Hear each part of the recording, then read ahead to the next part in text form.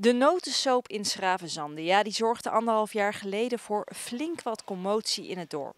De vaste notenboer Arie Evers werd namelijk van de markt gestuurd omdat hij door een fout van de gemeente de vergunning onterecht had gekregen. Een paar weken geleden kregen we van de gemeente te horen dat mijn eh, vergunning werd ingetrokken. En hebben we uitgenodigd voor een gesprek. En, en dat was eigenlijk een voldongen feit. Goedemorgen. Want notenboer Bas bleek veel meer recht te hebben op de vergunning. Wij stonden al heel lang ingeschreven op de wachtlijst uh, hier op Schravenzande. En uh, ja, de gemeente kwam erachter dat ze daar een fout mee gemaakt hadden. En uh, die hebben met ons contact opgenomen. En ze hebben de fout hersteld. En zodoende mochten wij hier gaan staan op de markt. Gelukkig. Dit is ongeveer 250 gram, zo'n zakje ongeveer. Vier keer ga ik voor u doen.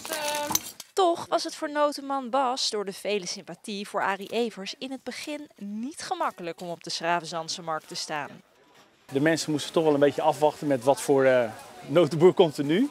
Uh, ja, dus dat was de eerste week wel uh, lastig natuurlijk. Maar inmiddels hebben de Westlanders Bas en zijn noten volledig omarmd. Al is Arie Evers ook niet vergeten. Ik vond het wel heel erg sneu voor hem. Ja, ik kwam daar echt iedere week. Ik vind het voor mij maakt het helemaal niet uit. Als ik maar goede noten krijg en die vind ik net zo goed als de vorige. Ik moet heel eerlijk toegeven dat ik nog wel wat online bestel bij Arie Evers ook vaak. En als ik dat vergeet, dan ga ik hierheen. Ze hebben allebei goede noten. Ik zou gelijk proeven als ik u was. Ik vind het publiek hartstikke leuk, heel gezellig. Uh, ja, no nonsense, down to earth. Heerlijk. Toch is de notensoop nog niet volledig voorbij. Arie Evers laat in een schriftelijke reactie weten dat er in februari een rechtszaak gepland staat om zijn plekje terug te winnen. Ja, maar dat gaat buiten ons om.